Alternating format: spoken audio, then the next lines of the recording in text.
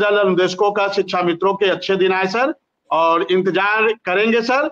और आगामी हफ़्ता में, चूँकि मैडम ने 10 से पंद्रह दिन का समय दिया था तो आगामी हफ़्ते में प्रयास करेंगे लखनऊ जाकर क्या वस्तु स्थिति है, उससे अवगत होंगे। और कल हमारी बनारस में एक बैठक है। बनारस के साथ ही हम लोगों से जुड़ना चाह रहे हैं तो अभी रात को हम लोग बनारस निकलेंगे। और उन साथियों का स्वागत करेंगे, जो हम लोगों की, बनारस की पूरी टीम हम लोगों से जुड़ना चाह रही है तो अच्छी पहल है और हम लोग सुबह बनारस पहुँचेंगे सर। जी। चलिए ठीक। बनारस पहुंचिए। बात करें शुक्ला जी बात पूरी करिए। आपका नेटवर्क बीच में कट गया था। बहुत कट जा रहा है सर। तो मैं यही कह रहा था कि माननीय मुख्यमंत्री जी के निर्देश पे सारे काम हो रहे हैं और मुझे उम्मीद है कि बहुत जल्द मुख्यमंत्री जी से मुलाकात भी होगी और उसी मुलाकात के बाद हम लोग के समस्याओं के समाधान के रास्ते खुल जाएँगे। और शिक्षा मित्रों से मेरा निवेदन है कि आप बहुत परेशान मत होइए। ये जो दौड़ होता है, जब संकट का समय आता है तो उसी में अच्छे दिन भी धीरे धीरे आते हैं और वो समय धीरे, क्योंकि अभी तक हमारा सरकार का कोई भी प्रतिनिधि पैरवी नहीं कर रहा था। आप हमारे लोग और मजबूती के साथ कर रहे हैं। उन तमाम माननीय जनप्रतिनिधियों को मैं धन्यवाद देता हूँ और तमाम अधिकारियों को जो मेरे लिए सकारात्मक पहल कर रहे हैं सरकार से और माननीय मुख्यमंत्री जी से।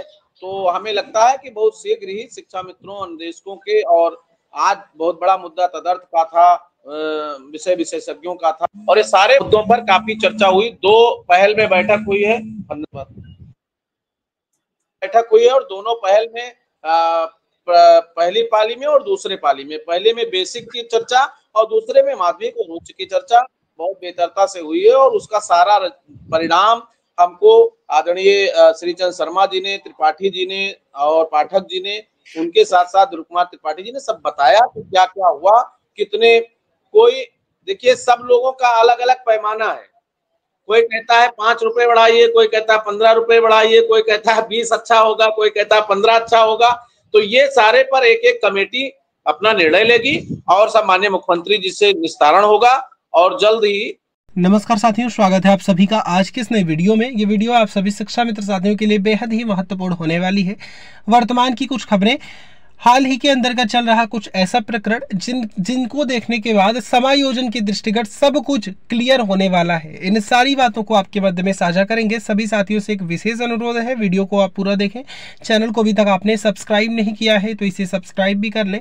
अब चलते हैं अपडेट पर। अब हम लोग अगले हफ़्ते से फिर आएँगे लखनऊ। और उसमें लगेंगे। तो निश्चित रूप से आज ही मैं लखनऊ से आया हूँ और मिश्रा जी मैं मंगलवार को फिर आ जाऊँगा लखनऊ और निश्चित रूप से लग करके इसको हम लोगों को कराना है। इसलिए शिक्षा मित्र शांत रहें धैर्य के साथ अपने दायित्वों का निर्वहन करें और आपने जो दायित्व हमको दिया है उसका निर्वहन मैं करूँगा और सबसे ज़्यादा अनुदेशक और शिक्षा मित्रों के प्रकरण में आदरणीय मिश्रा जी को बहुत आप तो पूरी ताकत से लगे हैं और जब हम लोगों का अच्छा दिन आएगा तो सब उसी में आपका भी अच्छा दिन आएगा। सबसे पहले आपका आशीर्वाद हम लोगों को प्राप्त होगा और फिर हम लोग आपको सम्मानित करेंगे।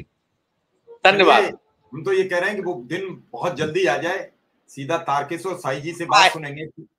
क्योंकि सब लोग बड़ी बेसब्री से उस दिन का इंतज़ार कर रहे हैं। शुक्ला जी इतना आ, मैं ये समझता हूँ कि काफ़ी हद तक शिक्षा मित्रों को रोक पाया उनको जान से रोक पाया उनके परिवार से बचा पाया। रहा है मेरे साथ उसके लिए मैं हूँ आभारी हूँ। और मैंने एक भी शिक्षा मित्र को अपमानित करने का काम नहीं किया मैंने किसी नेता को अपमानित करने का काम नहीं किया।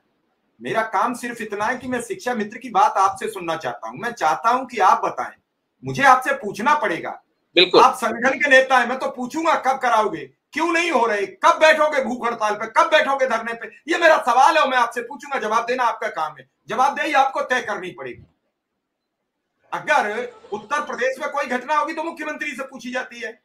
अगर उस संगठन के नेता आप ना होते तो मैं शिव कुमार शुक्ला को फ़ोन नहीं करता। मैं सुशील यादव विश्वनाथ कुशवाहा जी को फ़ोन नहीं करता क्योंकि मेरा क्या मतलब है? शाही जी से मैं सवाल करूँगा। संगठन के नेता तो मेरा जवाब दीजिए।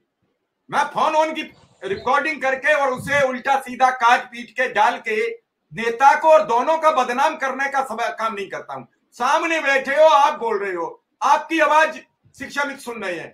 मैं नहीं कह रहा, क्योंकि एक व्यक्ति की जान बड़ी कीमती है। शाही जी, आपको भी बैठक का पता लगा होगा, क्योंकि आपके भी विभाग से संबंधित थी और खुद